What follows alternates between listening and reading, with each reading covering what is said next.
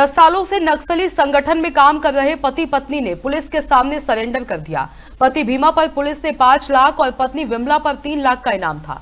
Surrender करने वाले दंपति सरकार की घर वापस आइए यानी लोन वराटू अभियान से प्रभावित है।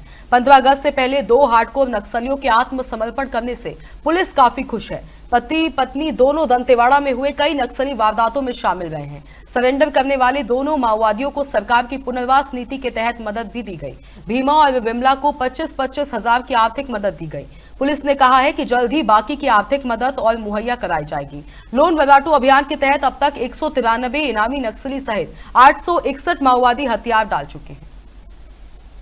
IG Bastar range Sundarraj sir DIG Dantewada range commercial custom sir DIG CRPF Vikas Kateria sir और एसपी दंतेवाड़ा गौरव सर के मार्गदर्शन में नक्सल उन्मूलन अभियान चलाया जा रहा है।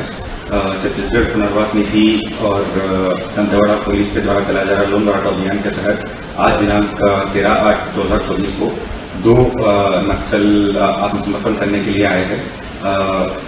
जिनका डिटेल्स ये है, बीमा उर्फ़ पवन मंडावी, मलांगेर एरिया कमेटी का सदस्य और एरिया मिलिशिया इंचार्ज भी रहा है इसके ऊपर पाँच लाख का इनाम घोषित है और उसका पत्नी है विमला मड़कम प्लाटून थर्टी का सदस्य है और इसके ऊपर दो लाख का इनाम घोषित है।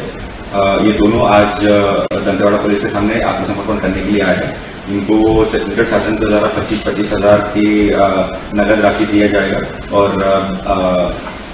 टोटल आज तक कुल दंतेवाड़ा पुलिस के द्वारा 193 नामी माओवादी का सरेंडर किया गया है और टोटल 861 माओवादी आत्मसमर्पण किए।